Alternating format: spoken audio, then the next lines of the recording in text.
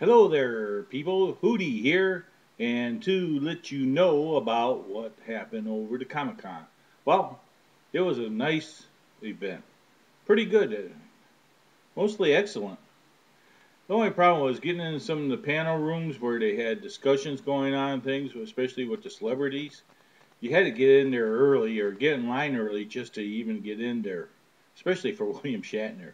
Uh, unless you were a VIP, which might be worth the cost if you don't like waiting in line.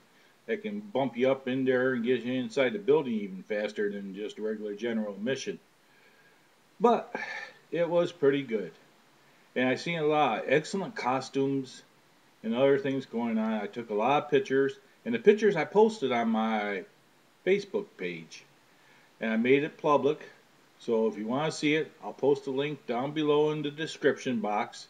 And uh, as long as you got Facebook, I guess you can uh, get over there and see them.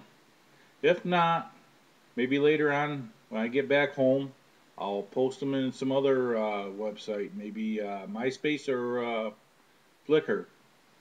But uh, if you can't see them off of Facebook, just uh, let me know. And that's all I can say for now. This is Hootie out.